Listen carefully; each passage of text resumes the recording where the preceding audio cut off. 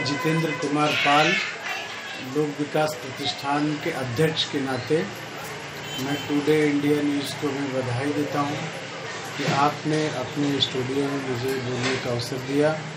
आज जो कल धारा 370 आर्टिकल और 35 ए हटाया, आदरणीय मोदी जी ने, अमित शाह जी ने, ये बाबा साहेब अंबेडकर के विचारधाराओं को पूरा किया है, क्योंकि हमारा देश कश्मीर से कन्याकुमारी तक है। और संविधान लागू है, लेकिन कश्मीर ऐसा प्रांत था जहाँ पे बाबा साहेब अंबेडकर के संविधान को नहीं मानते थे।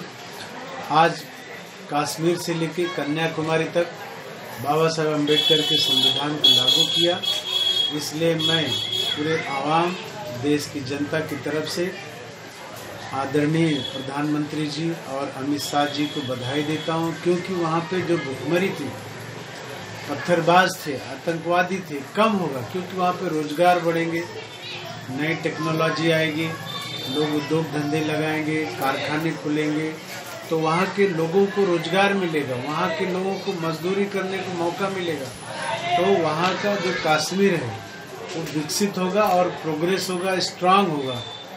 जब तक हमारे देश के कोने कोने से जो उद्योगपति वहाँ नहीं पहुँचेंगे, तब तक स्टेट के विकास नहीं हो सकता है। जिससे गुजरात में बहुत सारी इंडस्ट्रीज़ वहाँ लागू है। गुजरात आज मज़बूत है, उत्तर प्रदेश मज़बूत है, उसी तरह कश्मीर भी एक बहुत बड़ा हमारा वो धरोहर है। वहाँ पे पर्यटन अच्छा हो सकता है टूरिस्ट लोग आएँगे वहाँ पे। उनको मतलब वो डर के मारा नहीं आते थे, लेकिन अब ऐसा नहीं होगा। और अब कश्मीर खुशहाल होगा और वहाँ की जनता के लिए अच्छा हुआ है।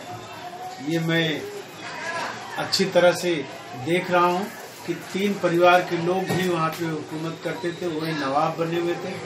एक फारूक अब्दुल्ला का परिवार, एक महबूबा मुफ्ती, एक गुलाब नबी आज़ाद। ये तीन चार परिवार के लोग ही वहाँ पे कब्जा करके बैठे थे।